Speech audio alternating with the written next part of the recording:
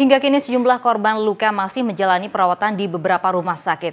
Salah satu rumah sakit adalah RSPAD yang menerima 9 korban ledakan yang terjadi di dekat Gedung Sarinah, Jakarta.